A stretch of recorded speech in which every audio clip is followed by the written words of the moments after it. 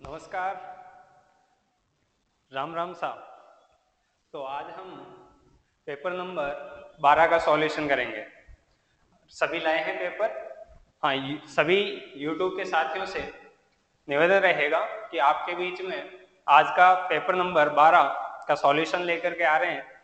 तो आपने paper number 12 को सॉल्यूशन करने से पहले जिन जो भी नए यूट्यूबर्स हैं तो उनको हमारा यह टॉपिक आज का जो पेपर नंबर 12 है, उसमें हमारा टॉपिक है पुस्तकालय विज्ञान के पाँच सूत्र, जो आप सभी को करवा दिया गया है। प्लेलिस्ट में जाकर के आप सभी पाँच हमारे भाग है इस यूनिट के तो उन सभी को देख करके आप देखें पहले तो उसके बाद में ये सॉल्यूशन देखें कि आपके लाइब्रेरी साइंस के जो 100 प्रश्न आने हैं, वो मान लीजिए यहाँ से आपके दो प्रश्न कंप्लीट हो चुके हैं तो अब आपको 98 क्वेश्चन की तैयारी करनी है।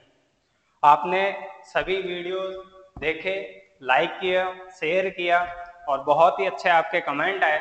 इसी तरह से आपके बीच में धीरे धीरे Shri Samriddhi classes important topics लेकर के आएगी और हमारी अस्तित्व ऐप पर अब तक 45 टेस्ट हो चुके हैं। तो आप उनको निरंतर कर रहे हैं। और उनका सॉल्यूशन आपके बीच में श्री समृद्धि क्लासेज लेकर के आ रही है। तो आपने पुस्तकालय विज्ञान के पाँच सूत्र टॉपिक कंप्लीट पढ़ लिया होगा तो मुझे नहीं लगता कि आपको अब इसकी सॉल्यूशन की आवश्यकता भी है। अगर आवश्यकता है तो एक बार नज़र देख, देखते हैं। एक से ग्यारह हम पेपर सॉल्यूशन पहले कर चुके हैं तो आज हमारा पेपर नंबर बारह, जिसका हम पहला प्रश्न देखें। कि भारत के संविधान की कौन सी धारा राष्ट्रीय ग्रंथालय की स्थापना से संबंधित है? हमारा पहला प्रश्न है भारत के संविधान की कौन सी धारा राष्ट्रीय ग्रंथालय की स्थापना से संबंधित है? तो हमारे सामने ऑप्शन है 63, 67, 26 और 62 तो हमारा सही आंसर रहेगा 62 62 आपकी धारा है 62 धारा के अंतर्गत आपके राष्ट्रीय ग्रंथालय की स्थापना की गई, जिसका अनुच्छेद अनुच्छेद आपका है सात के अंतर्गत। सात के अंतर्गत। हम बात करें कि भारत के संविधान की धारा, राष्ट्रीय ग्रंथालय की स्थापना की धारा आपकी 62 किस अनुच्छेद या जिसे हम कह सकते हैं, परिशिष्ट। परिशिष्ट सात के अंतर्गत सात के अंतर धारा, आपसे यहाँ पे धारा पूछी गई है। पूछा जा सकता है कि किस अनुच्छेद के तहत आपके इसकी स्थापना की गई है। हमारा दूसरा क्वेश्चन है कि national library national library for blind and physical handicap कहाँ स्थित है? हमारा दूसरा है national library for blind and physical handicap. हमारे सामने ऑप्शन है कोलकाता, दिल्ली, लखनऊ और देहरादून। क्या रहेगा आंसर? देहरादून। सही आंसर रहेगा हमारा देहरादून। इसकी स्थापना कब हुई थी? हमारा नेक्स्ट क्वेश्चन यहाँ पे बनता है कि national library for blind and physical handicap किस स्थान पर स्थित है यह तो आपने बता दिया कि देहरादून। क्योंकि हमारे सामने विकल्प मौजूद है। तो अब आपसे पूछा जाए कि यहाँ पे इस, इसकी स्थापना कब की गई? कब से यह संचालित हो रहा है? तो हमारा सही आंसर रहेगा 1979 इसे आप नोट करते रहें। नेक्स्ट क्वेश्चन आता है आपका कि राष्ट्रीय ग्रंथालय राष्ट्रीय विज्ञान ग्रंथालय राष्ट्रीय विज्ञान ग्रंथालय नेशनल साइंस लाइब्रेरी राष्ट्रीय विज्ञान ग्रंथालय।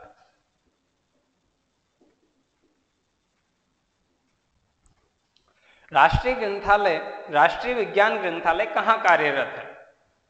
आपके सामने ऑप्शन है documentation research and training Bangalore में। राष्ट्रीय ग्रंथालय कोलकाता में नेस्केयर स्टॉक नई दिल्ली में या भारतीय प्रौद्योगिकी संस्थान नई दिल्ली में? आप में से इसका कोई सही आंसर? इसका आपका सही आंसर है ऑप्शन सी निष्केयर दिल्ली।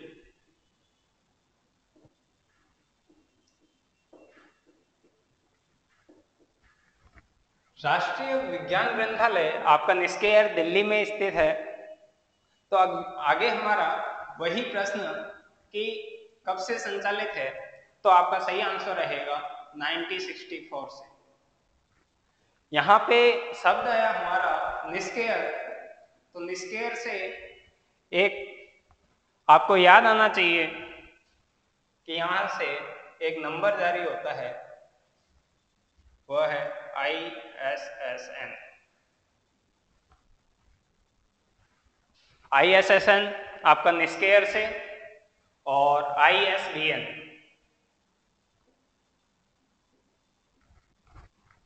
यह नंबर कहाँ से जारी होता है?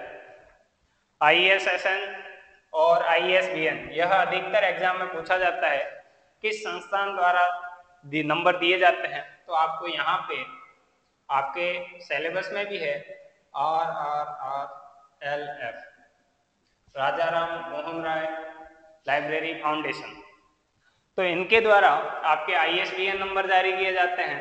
I S S N number NISCAIR जारी करता है। तो यह दोनों प्रश्न भी आपके एग्ज़ाम के पॉइंट ऑफ़ व्यू से बहुत ही इंपॉर्टेंट है। हमने यहाँ देखा राष्ट्रीय विज्ञान ग्रंथालय। अगर आपसे यह प्रश्न पूछा जाए कि राष्ट्रीय मेडिकल लाइब्रेरी, हमारा इसी संदर्भ में राष्ट्रीय विज्ञान ग्रंथालय यह दिल्ली में स्थित है। और इसी जगह पे आपसे एक प्रश्न और पूछा जाए कि राष्ट्रीय मेडिकल लाइब्रेरी,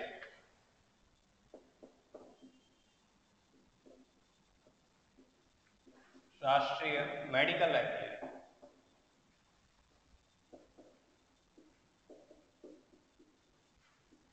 यह कहाँ स्थित? है हमारा, आपसे अगला प्रश्न है कि राष्ट्रीय मेडिकल लाइब्रेरी कहाँ स्थित है? आप में से ऑप्शन चाहिए आपको। यही ले लो, कलकत्ता, दिल्ली, लखनऊ या देहरादून। तो यहाँ पे हमारी दिल्ली में, एम्स जो है, वह दिल्ली में जिसकी स्थापना हम कहें 1966 से संचालित है। हम आगे बढ़ते हैं। क्वेश्चन नंबर चार है हमारा, कि national library of India, a critical study नामक ग्रंथ के लेखक, यानी कि यहाँ पे एक आपको बुक दे रखी है, जिसके राइटर पूछे हैं कि इनके राइटर कौन है। आपसे एग्ज़ाम में एक स्टेटमेंट, परिभाषा, जिस आपकी पाँच यूनिट है। पाँचों यूनिट में जहाँ परिभाषा या जिनसे रिलेटेड व्यक्तित्व है, उनका परिचय और उनके नामक पुस्तक, उनके लिखित पुस्तक जैसे डॉक्टर रंगानाथन महोदय की साठ से पैंसठ ग्रंथ है तो उनमें से आपको 20 से 25 कम से कम याद होने चाहिए, क्योंकि अधिकतर पूछी जाती है। तो यहाँ पे हमसे पूछा है कि national library of India critical study नामक ग्रंथ के लेखक का नाम बताओ। हमारा ऑप्शन है B S Kesavan S R Ranganathan P N Kaula या इनमें से कोई नहीं। आप में से कोई सही आंसर इसका? Very good P N Kaula P N Kaula P N Kaula महोदय का पूरा नाम? तो हमारा पूरा नाम था पृथ्वीनाथ कोला पृथ्वीनाथ कॉलम इनके बारे में थोड़ा सा अगर परिचय देखें तो ये है पुस्तकालय विज्ञान के जगत में महान विभूति हैं। तो इनका योग, पुस्तकालय विज्ञान के क्षेत्र में बहुत ही बड़ा योगदान है। तो इनको हम देखें कि इनको पुरस्कार के रूप में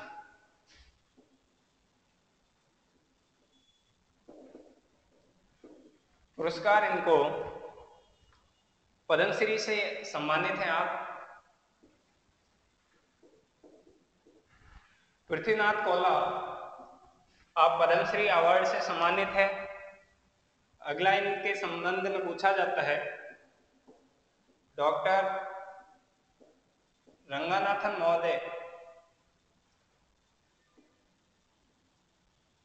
डॉक्टर रंगानाथन महोदय की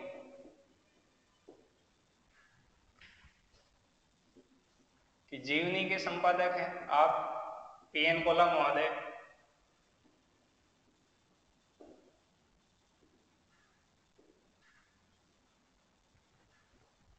और अगर इनके बारे में देखें तो नेशनल हेराल्ड,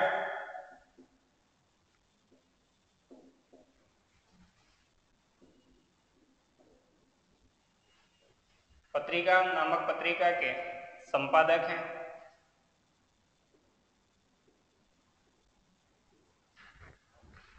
हमारा यहाँ पे इनके द्वारा बताया गया कि डॉक्टर रंगनाथन महोदय की जीवनी के संपादक है। तो डॉक्टर रंगनाथन महोदय की ऑटोबायोग्राफी का नाम पूछा जाता है तो वह बताओ।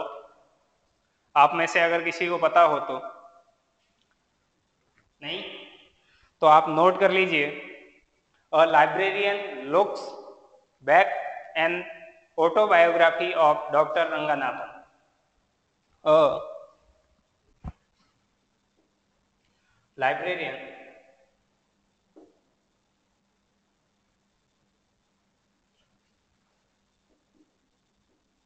A librarian. Looks. Book. Looks back. And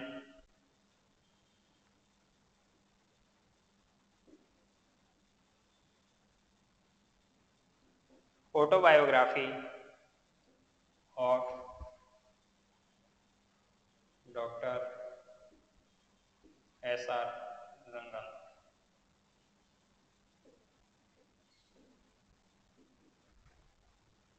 हमारे सामने इनकी जो यह डॉक्टर रंगनाथन महोदय की ऑटोबायोग्राफी है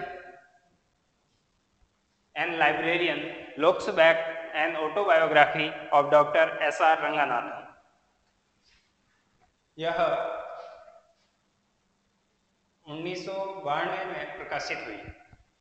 पी एन कोला महोदय इसके एडिटर हैं। इनके संपादक है। और यह कब प्रकाशन में आती है प्रकाशन में आती है? 90 92 में। नेक्स्ट आगे हमारा क्वेश्चन आता है कि कौन से आयोग या समिति द्वारा इंपीरियल लाइब्रेरी को को डिपोजिटरी लाइब्रेरी यहाँ पे कॉपीराइट जो लिख रखा है, इसे हटा करके आप डिपोजिटरी लाइब्रेरी कर दीजिए। मिसप्रिंट है। डिपोजिटरी लाइब्रेरी बनाने की स्तुति की थी। निम्न में से किस समिति ने आपकी इंपीरियल लाइब्रेरी को डिपोजिटरी लाइब्रेरी बनाने की स्तुति की थी? तो हमारे सामने ऑप्शन है पेनेजी आयोग रिची समिति स्थातम समिति या सैडलर समिति। हमारा डी ऑप्शन जो है, सैडलर समिति, यह आपकी कलकत्ता विश्वविद्यालय के उत्थान किससे संबंधित थी। इसका आपका सही आंसर रहेगा रिचि समिति। रिचि समिति।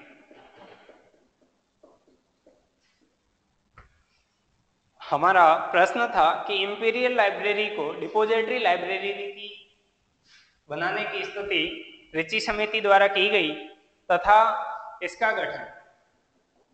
आपका 1926 में गठित होती है और 1928 में रिपोर्ट प्रस्तुत करती है।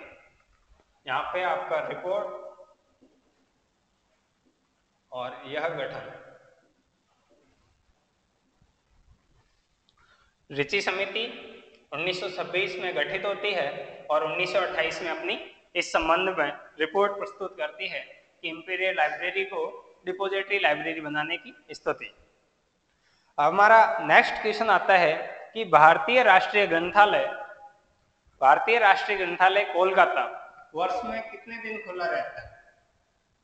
बहुत ही इजी प्रश्न है और डॉक्टर रंगानाथन महोदय का पहले सूत्र की अनुपालना कि सर्वाधिक समय तक वर्ष में पुस्तकालय खुला रहे। तो हमारा यहाँ पे प्रश्न आता है कि भारतीय राष्ट्रीय ग्रंथालय, जो कोलकाता, वर्ष में आपके कितने दिन खुला रहता है? तो हमारे सामने तीन सौ बासठ और तीन दो विकल्प है और अधिकतर स्टूडेंट्स इन दोनों में कंफ्यूज है। कि कहीं पे हम पढ़ते हैं कि तीन सौ बासठ है और कहीं पे हम पढ़ते हैं कि तीन दिन। एग्जैक्ट सही आंसर क्या है? तो आपको बता दें कि एक वर्ष में राष्ट्रीय ग्रंथालय हमारा तीन दिन ऑफ़ रहता है। वह तीन दिन है 26 जनवरी 15 अगस्त और 2 अक्टूबर।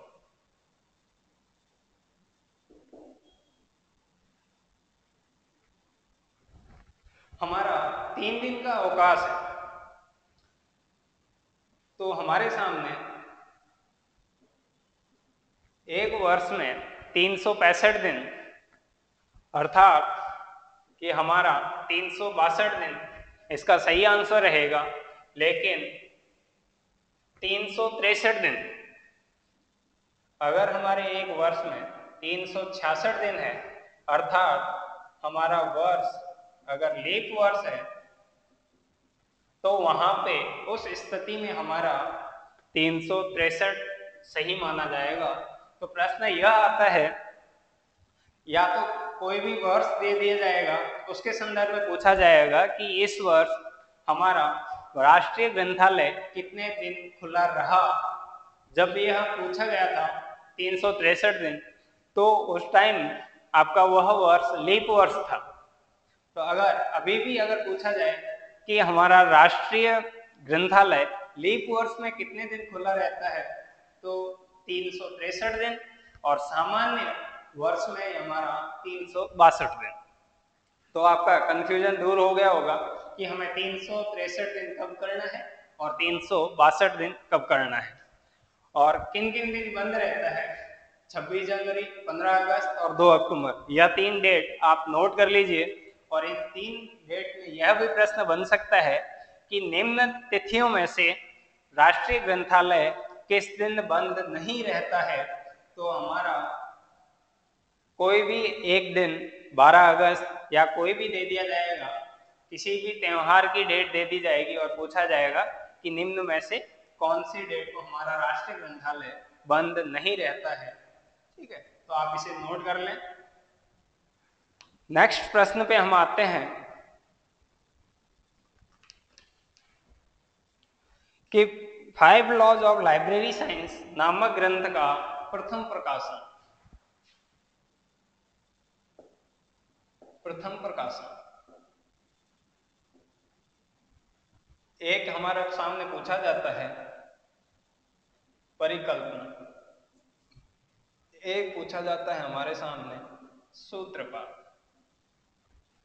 यह मैं पहले वीडियो में आपको बता दिया गया था सामान्य परिचय में कि फाइव लॉज का प्रथम प्रकाशन कब होता है, परिकल्पना कब की जाती है, परिकल्पना या यहाँ पे शब्द लिया जाता है, प्रतिपादन। प्रतिपादन। तो हमें पता है कि डॉक्टर रंगानाथन महोदय ने 1924 में ही इसका सूत्रपात कर लिया था। 1928 में प्रतिपादन होता है और 1931 में इसका प्रथम प्रकाशन आता है और दूसरा प्रकाशन उन्नीस सौ सत्तावन में द्वितीय प्रकाशन। फाइव लॉ का दूसरा प्रकाशन उन्नीस सौ सत्तावन, पहला प्रकाशन 1931 में प्रकाशित होके 1928 में आपकी परिकल्पना और 1924 में सूत्रपात यह चार प्रश्न, ये चारों सन बहुत इंपॉर्टेंट रहते हैं। अभी आपने देखा होगा एनवीएस के पेपर में तो उनका प्रथम प्रकाशन पूछा था। और अगर हम आगे बात करें कि डॉक्टर रंगानाथन महोदय ने फाइव लॉज की सर्वप्रथम पहली पुस्तक किसको भेंट की थी? अगर हमारा अगला प्रश्न यह बनता है यहाँ से कि 1931 में प्रकाशित डॉक्टर रंगानाथन महोदय की प्रथम पुस्तक 1931 में प्रकाशित पुस्तकालय विज्ञान के पाँच सूत्र। पुस्तकालय विज्ञान के पाँच सूत्र। नामक पुस्तक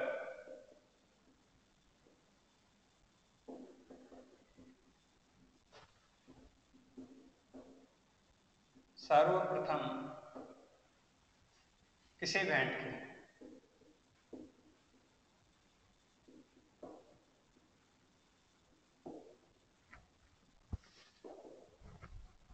उन्नीस सौ इकतीस में प्रकाशित फाइव लॉज और लाइब्रेरी साइंस नामक पुस्तक सर्वप्रथम किसे भेंट की। यह प्रश्न भी आपसे पूछा जा सकता है। जितना जिस टॉपिक पे हम अध्ययन कर रहे हैं, उसको धीरे धीरे हम अध्ययन करते हैं तो हम उसके अंदर तक जाते हैं। जाते हैं तो नए नए प्रश्न हमारे सामने आते हैं। बस हमें ज़रूरत है उन प्रश्नों को खोजने तो हमारे सामने नया प्रश्न आया। कि इस पुस्तक को सर्वप्रथम डॉक्टर रंगानाथन महोदय ने किसे भेंट की? तो सही आंसर रहता है रुक्मणी रंगानाथन।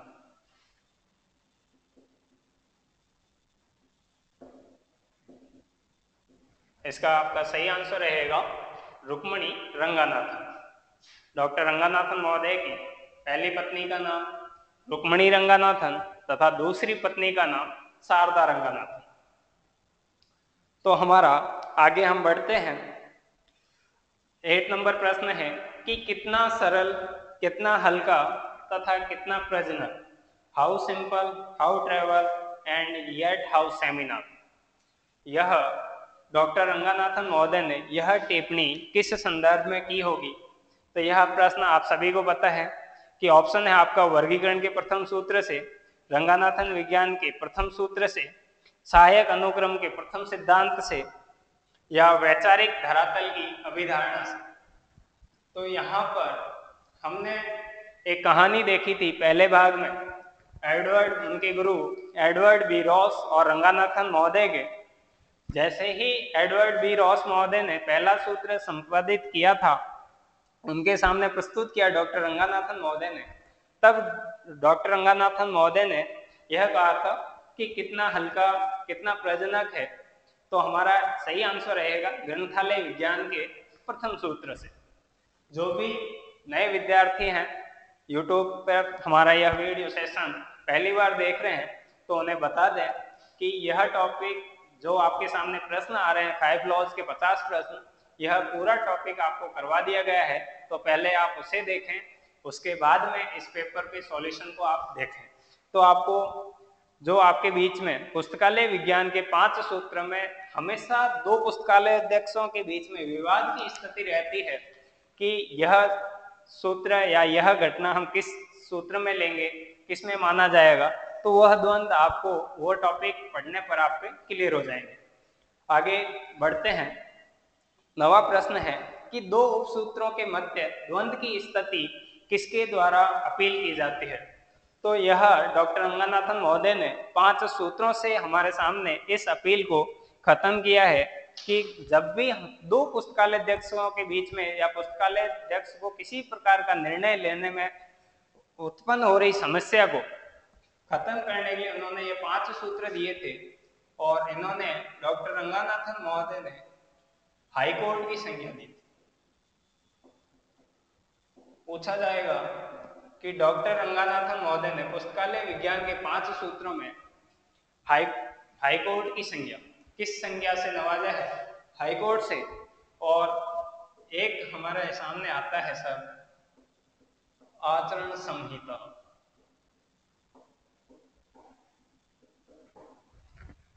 हमारे सामने है आचरण संहिता। यह पुस्तकालय विज्ञान के पाँच सूत्र है। जिनके संदर्भ में यह कथन किन महोदय ने किया? पहला ऑप्शन आपके सामने रहेगा डॉक्टर रंगानाथन महोदय। दूसरा ऑप्शन रहेगा आपके सामने के एम शिवरामन और तीसरा ऑप्शन रहेगा मेलविल डीवी और चौथा ऑप्शन आपके सामने दे दिया जाएगा सी ए गटर तो आपका आचरण संहिता के एम शिवरामन महोदय और हाईकोर्ट की संज्ञा डॉक्टर रंगानाथन महोदय इन चीज़ों का आप ध्यान रखें, इन दोनों प्रश्नों का। अगला प्रश्न है हमारा, सार्वजनिक ग्रंथालय द्वारा दृष्टिहीनों के लिए प्रचार सेवाओं को किस सूत्र द्वारा उचित ठहराया गया है?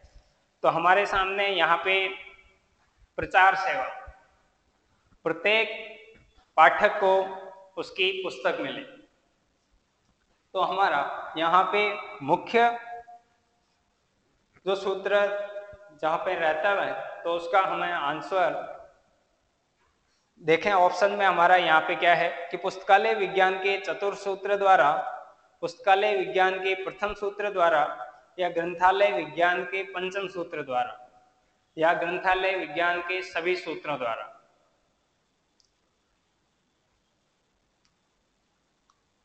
तो यहाँ पे आपका सही आंसर रहेगा ग्रंथालय विज्ञान के सभी सूत्र द्वारा।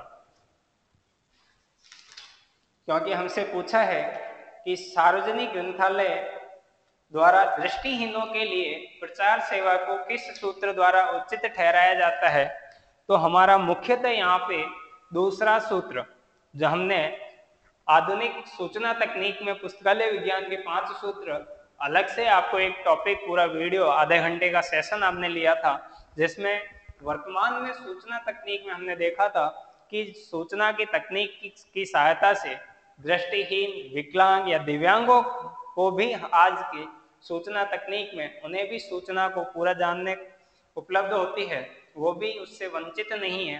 तो वह दूसरा सूत्र नेटवर्क से संबंधित था। तो यहाँ पे हमारा अगर ऑप्शन में द्वितीय सूत्र ऑप्शन होता, ग्रंथालय विज्ञान का दूसरा सूत्र तो हम उसको सही आंसर करते, लेकिन यहाँ पे हमारे सामने दूसरा सूत्र विकल्प में नहीं है तो हमें ग्रंथालय विज्ञान के सभी पाँचों सूत्र को ही इसमें माना जाएगा।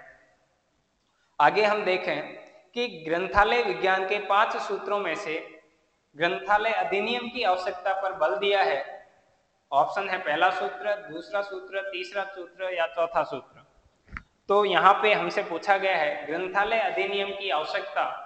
तो हमें पता है कि दूसरे सूत्र में हमने देखा था, सरकार के दायित्व, प्राधिकरण के दायित्व, कर्मचारी के दायित्व और पाठक के दायित्व। तो यहाँ पे सभी के दायित्वों से संबंधित था और अधिनियम सरकार के द्वारा अधिनियम तैयार करना, वित्त का प्रावधान करना इत्यादि कार्य हमने देखे थे तो हमारा सही आंसर रहेगा दूसरा सूत्र। अगर हमारा नेक्स्ट क्वेश्चन है कि प्रत्येक ग्रंथ को उसका पाठक मिले, ग्रंथालय विज्ञान का निम्न में से कौन सा सूत्र है? प्रत्येक पाठक को, प्रत्येक ग्रंथ को उसका पाठक मिले। तो हमारे सामने ऑप्शन है, पहला सूत्र, दूसरा सूत्र, पांचवा सूत्र, इनमें से कोई नहीं।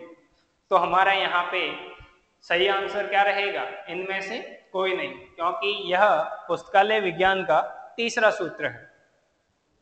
हमारा आगे नेक्स्ट क्वेश्चन आता है तेरह नंबर कि ग्रंथालय विज्ञान के किस सूत्र में ग्रंथालयों के शिशु विकास शिशु विकास एवं वयस्क विकास अर्थात child growth and adult growth की चर्चा की गई है। किस सूत्र में हमने की थी चर्चा? पंचम सूत्र में। वेरी गुड तो सही आंसर रहेगा हमारे यहाँ पे पंचम सूत्र। आगे आता नेक्स्ट क्वेश्चन पे कि ग्रंथालय विज्ञान के पंचम सूत्र के अनुसार ग्रंथालय वर्धनशील है, अर्थात library is a growing organisation या ऑर्गेनिज्म क्या रहेगा सही आंसर ऑर्गेनिज्म सही आंसर हमारा रहेगा बी ऑर्गेनिज्म आगे हम नेक्स्ट देखें कि ग्रंथ, पंद्रह नंबर है, ग्रंथालय में ग्रंथों के प्रत्याहरण की आवश्यकता ग्रंथालय विज्ञान के पाँच सूत्रों में से किस सूत्र में की गई है? अर्थात कि ग्रंथालय विज्ञान में, के पाँच सूत्रों में, कि ग्रंथों के प्रत्याहरण, अर्थात कि ग्रंथों की, अनुपयुक्त ग्रंथों की छटनी या उन्हें बाहर विदाई, हमारा सही आंसर रहेगा पंचम सूत्र से। नेक्स्ट क्वेश्चन है आपका, कि ग्रंथालय विज्ञान को कौन सा सूत्र, ग्रंथालय में उपलब्ध ग्रंथों को पाठकों की दृष्टि में लाए जाने का अधिकार देता है। क्या कहना चाह रहा है कि ग्रंथालय में उपलब्ध ग्रंथ, अर्थात प्रत्येक पुस्तक को उसका पाठक मिले।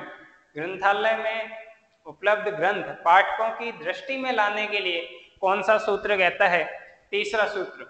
जो हमारा तीसरा सूत्र है, पुस्तकालय विज्ञान का, वह कहता है, क्योंकि जो तीसरा सूत्र है, प्रत्येक पाठक को उसकी प्रत्येक पुस्तक को उसका पाठक मिले तो यहाँ पे, क्योंकि जो पुस्तक है, वह ना तो लेखक के पास में चल करके जा सकती है कि आप मुझे पढ़िए, और ना ही पुस्तक किसी पाठक को अपने पास में बुला सकती है।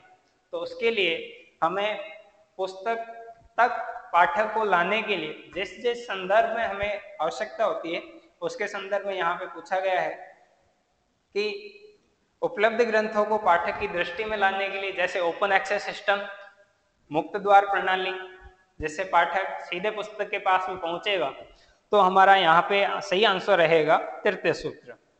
अगला हम देखें आगे कि प्रत्येक पाठक को उसका ग्रंथ मिले। एवरी रीडर इज़ बुक ग्रंथालय विज्ञान का कौन सा सूत्र है? बहुत ही सिंपल सा प्रश्न है।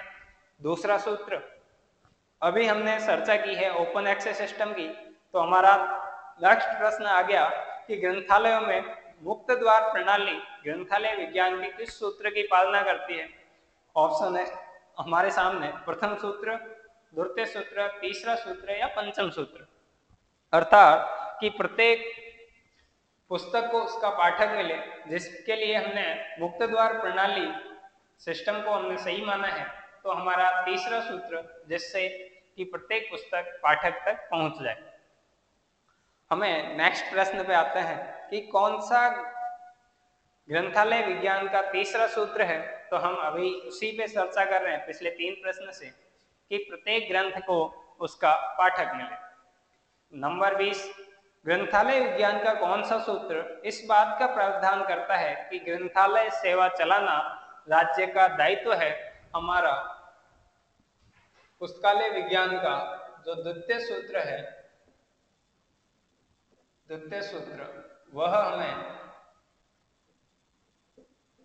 सरकार के दायित्व,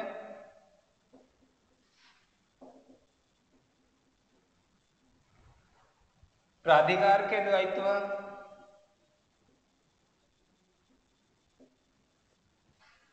कर्मचारी के दायित्व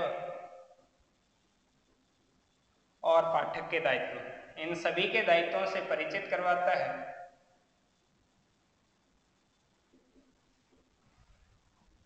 जब भी पूछा जाए कि पाठकों के दायित्व जब भी पूछा जाए कि सरकार के दायित्व, प्राधिकरण के दायित्व, कर्मचारी के दायित्व या पाठकों के दायित्व किस सूत्र से संबंधित रहेंगे तो हमारा सही आंसर रहेगा द्वितीय सूत्र।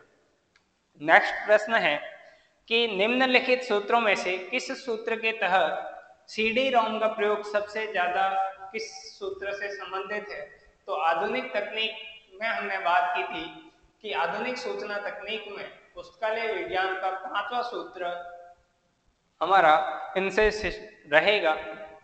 तो यहाँ पे हमारा सही आंसर रहेगा पंचम सूत्र। नेक्स्ट प्रश्न है हमारा, ग्रंथालय विज्ञान के दूसरे सूत्र का उप कौन सा है? अर्थात दूसरा हमारा सूत्र है, प्रत्येक पाठक को उसकी पुस्तक मिले तो यहाँ पे हमारा है कि निःशुल्क ग्रंथ सेवा, निशुल्क ग्रंथालय सेवा, ग्रंथ सबके लिए है, सब स्थान पर ग्रंथ। तो हमारा सही आंसर रहेगा उप सूत्र जिसे दूसरा सूत्र भी कह सकते हैं, ग्रंथ सबके लिए।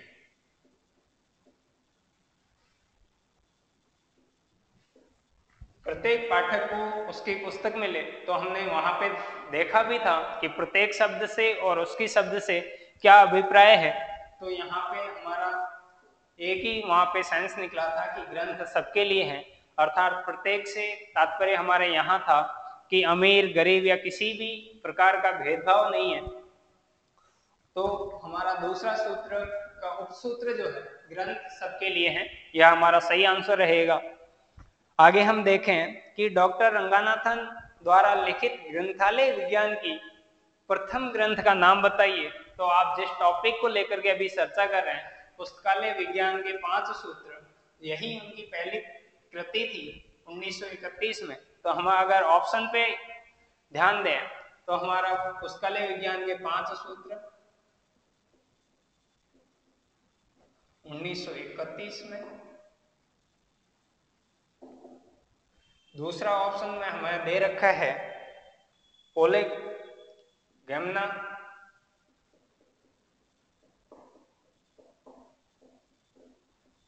prolegomena of library science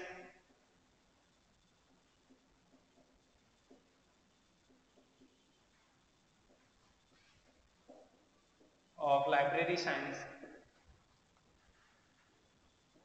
1937 तीसरा ऑप्शन दे रखा है, लाइब्रेरी मैनुअल।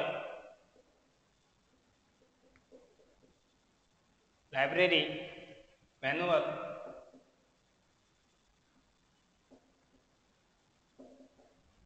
यह आपकी उन्नीस सौ इक्यावन में। तथा चौथा ऑप्शन है आपके सामने कॉलन क्लासिफिकेशन।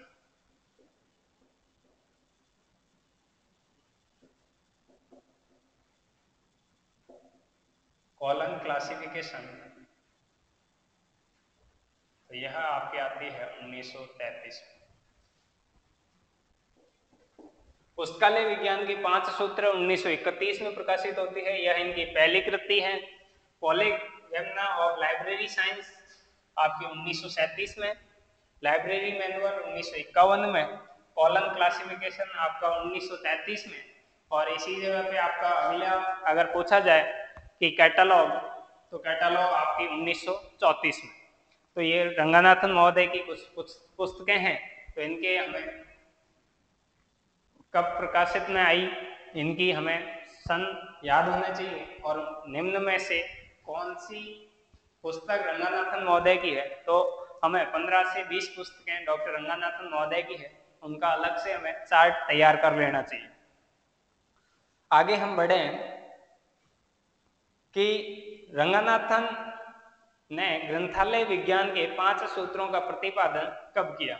तो हमने अभी सूत्रपात देखा था 1924 में, प्रतिपादन हमारा 1928 में और प्रकाशन हमारा 31 में। तो हमारा सही आंसर रहेगा 1931 में। नेक्स्ट प्रश्न है, ग्रंथा रंगानाथन कृत five laws of library science नामक ग्रंथ का दूसरा संस्करण किस वर्ष प्रकाशन में आया? तो पहला 1931 और दूसरा हमारा उन्नीस सौ सत्तावन में। डॉक्टर रंगनाथन कृत, five laws of library science के प्रथम संस्करण की प्रस्तावना। हमारे सामने दो प्रश्न है, प्रस्तावना और भूमिका।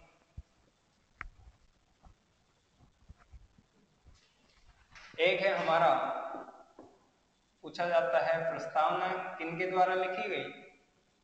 और दूसरा प्रश्न आता है कि भूमिका किनके द्वारा लिखी इन दोनों में अक्सर सभी स्टूडेंट्स कंफ्यूज रहते हैं तो हमारा प्रस्तावना में रहेगा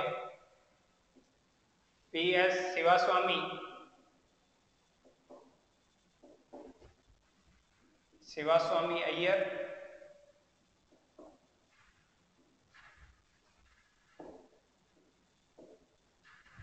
और हमारा भूमिका में डब्ल्यू सी बी शेयर्स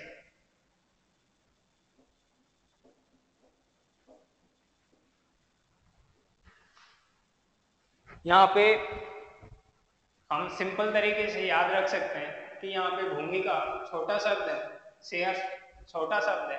प्रस्तावना पी से स्टार्ट है तो यहाँ पे पी एस सेवा स्वामी बड़ा शब्द है, प्रस्तावना भी बड़ा शब्द है। यह याद करने का तरीका है।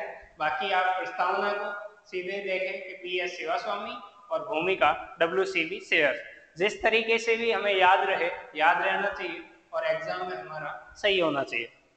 मेन उद्देश्य हमारा वो है एग्ज़ाम को क्रैक करना, कि एग्ज़ाम में हमें कैसे भी करके याद रहे।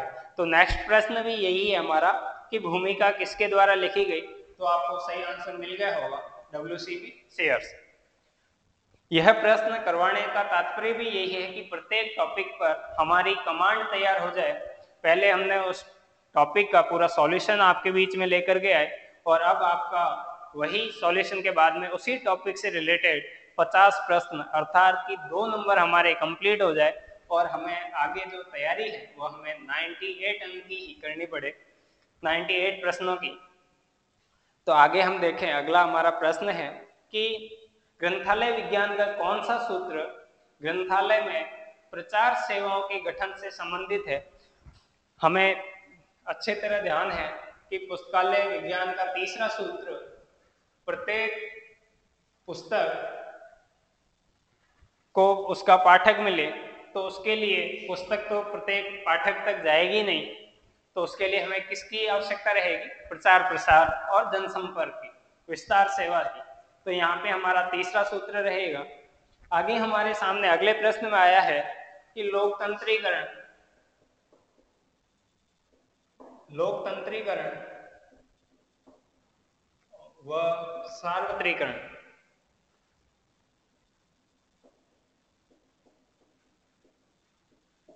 सार्वत्रिकरण, यह किस सूत्र से संबंधित है? आपके सामने ऑप्शन है पहला सूत्र, दूसरा सूत्र, तीसरा सूत्र या चौथा सूत्र? हमने लोकतंत्रीकरण और सार्वत्रिकरण को दोनों को ही समझा था कि प्रत्येक पाठक को उसकी पुस्तक मिले। तो वहाँ पे प्रत्येक और उसकी सबसे हमने लिया था कि लोकतंत्र करण में यानी कि पुस्तक, प्रत्येक पाठक को उसकी पुस्तक मिले। अर्थात कि प्रत्येक जो सभी पाठक गरीब, अमीर, सभी को उसकी, जो उसको आवश्यकता है ग्रंथ की वह उसको मिले तो किसी प्रकार का भेदभाव नहीं करता, अर्थात कि लोकतंत्रीकरण और सार्वत्रीकरण किससे संबंधित है? हमारा पुस्तकालय विज्ञान का दूसरा सूत्र से।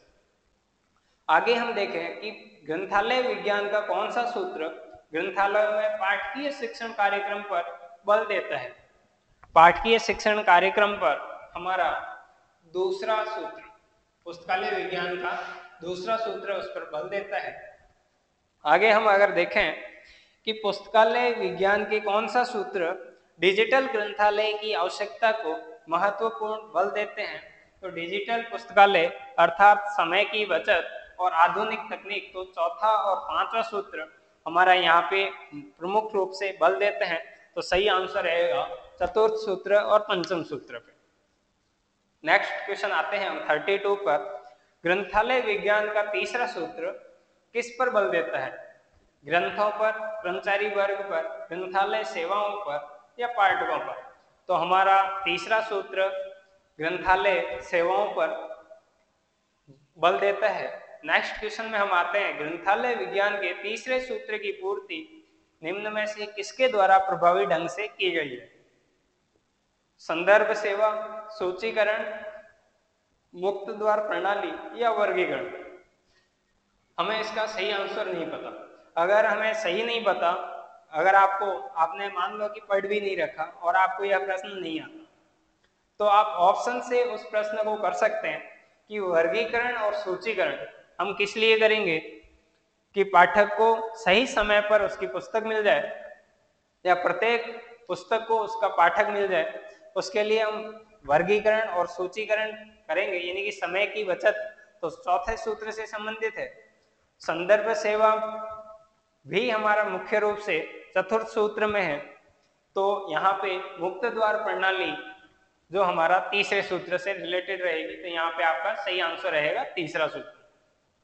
अब हम आगे देखें कि परिशुद्ध और द्रुतगामी ग्रंथालय सेवाएँ पुस्तकालय विज्ञान के किस सूत्र से संबंधित है। तो हमारा परिशुद्ध और द्रुतगामी अर्थात कि समय की बचत हो तो हमारा यह चौथे सूत्र से संबंधित रहेगा। चौथा सूत्र। ग्रंथालय भवन का स्थान निर्धारण five laws of library science के किस सूत्र का निहितार्थ है तो हमें पता है, स्थान, समय का हमारा पहला सूत्र है। तो सही आंसर रहेगा हमारा प्रथम सूत्र। ग्रंथालय विज्ञान का कौन सा सूत्र इस बात से संबंधित है कि सूचना गतिशील, अविरल और अनंत है। हमने आधुनिक सूचना तकनीक का, जो आपके सामने अंतिम टॉपिक लेकर के आए थे इस यूनिट का तो उसमें कुछ यूट्यूब पर हमारे कमेंट्स थे कि, सर, यह हमारे पाठ्यक्रम में है या नहीं है? तो आप इन 50 प्रश्नों में उस टॉपिक से चार से पाँच प्रश्न अब तक देख चुके हैं। तो आपके लिए पूरा यह जो टॉपिक है, आधुनिक सूचना तकनीक टॉपिक ही आपके लिए मोस्ट इंपोर्टेंट है, क्योंकि वर्तमान में जितने भी प्रश्न बन रहे उससे संबंधित बन रहे अर्थात कि अगर हम देखें, एक प्रश्न आता है हमारे सामने प्रलेख आपको उन वीडियो में, सभी में आपको यही बताया गया है कि डॉक्टर रंगानाथन महोदय ने पुस्तक के स्थान पर प्रलेख शब्द बीसवीं शताब्दी में लिया था, प्रयोग किया था। अगर हम एग्जैक्ट सन की बात करें तो उन्नीस सौ सत्तावन में पुस्तक के स्थान पर प्रलेख शब्द को उपयोग में आया था। स्थान पर प्रयोग लिया गया था। आगे हम बढ़े तो निम्नलिखित में से कौन सा ग्रंथालय विज्ञान के चतुर्थ सूत्र का निहितार्थ नहीं है? अर्थात किसी चौथे सूत्र से संबंधित नहीं है तो हमारे सामने ऑप्शन है कि वर्गीकृत व्यवस्थापन, स्टैक रूम गाइड, आदान प्रदान प्रणाली और ग्रामीण ग्रंथालय सेवाएँ। तो हमारा चौथा जो ऑप्शन है, ग्रंथालय, ग्रामीण ग्रंथालय सेवाएँ, यह हमारा चौथे सूत्र से संबंधित नहीं है, क्योंकि चौथा सूत्र हमें कहता है कि प्रत्येक पाठक का समय बचाइए। तो यहाँ पे वर्गीकरण स्टैग रूम गाइड और आदान प्रदान प्रणाली यह हमें समय बचाने में महत्वपूर्ण भूमिका को अदा कर रहे हैं। तो यहाँ पे यह रहेगा। आगे हम बात करें कि अपूपा विधि के अनुसार प्रलेखों का व्यवस्थापन ग्रंथालय विज्ञान के किस सूत्र का निहितार्थ है? प्रथम सूत्र, दूसरा सूत्र तृतीय सूत्र और चतुर्थ सूत्र। तो हमारा अपूपा प्रणाली। डॉक्टर रंगानाथन महोदय द्वारा यह वर्गीकरण की प्रणाली है।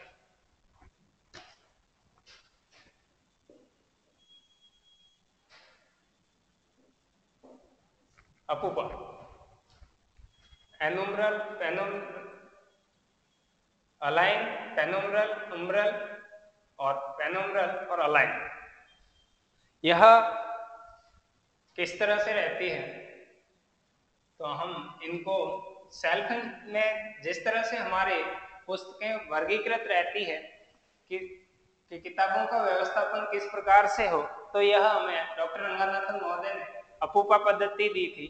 कि यहाँ पे जो सबसे बीच में, जो सबसे मुख्य किताब है, उसे रखा जाए और सब, उससे कम में इसे रखा जाए कि यहाँ से दूसरे नंबर पे और अंत से दूसरे नंबर पे। और सबसे जो कम है, उसे यहाँ पे रखा जाए। तीसरे, अंतिम, इधर से पहले स्थान पर और अंत से पहले स्थान पर। इस तरह से, जैसे कि हमारा आता है कि एजुकेशन। टी है। तो यहाँ पे शिक्षा से संबंधित जो पुस्तक है, उसे रखी जाए और यहाँ पे हमारा जो आर,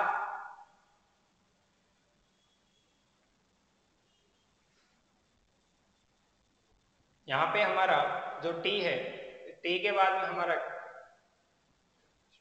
यू और वी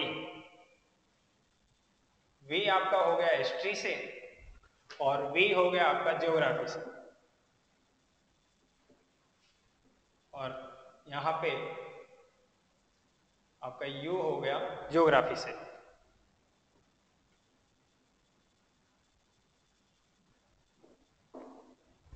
तो इधर हम देखें तो यहाँ पे हमारा हो गया psychology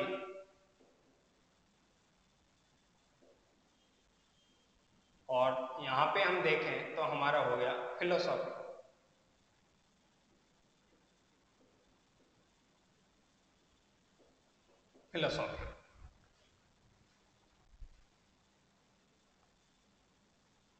R S T U और वी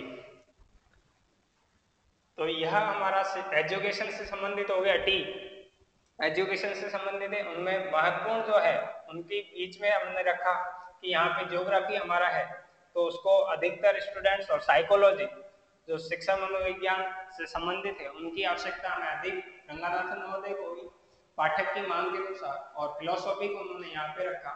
जिस तरह से मेन क्लास है हमारी, वह अपूपा प्रणाली के अकॉर्डिंग ही हमें संबंधित है तो हमें यह यह समझना है कि यह अलाइन जो है, वह सबसे कम उपयोगी पुस्तकों के लिए पेनुम्ब्रल उससे अधिक उपयोगी और अम्ब्रल सबसे अधिक महत्वपूर्ण जो हमारी पुस्तक है, उसको हमें रखने की विधि बताता है। आगे हम नेक्स्ट प्रश्न पे बढ़े तो हमारा सामने आता है कि अनुक्रमणीकरण और सारकरण अनुक्रमणीकरण और सारकरण किस सूत्र से संबंधित है? अनुक्रमणीकरण और सारकरण हमारा चौथे सूत्र से संबंधित रहेगा समय के बचाव में। आगे नेक्स्ट प्रश्न है हमारा, ग्रंथालय विज्ञान का कौन सा सूत्र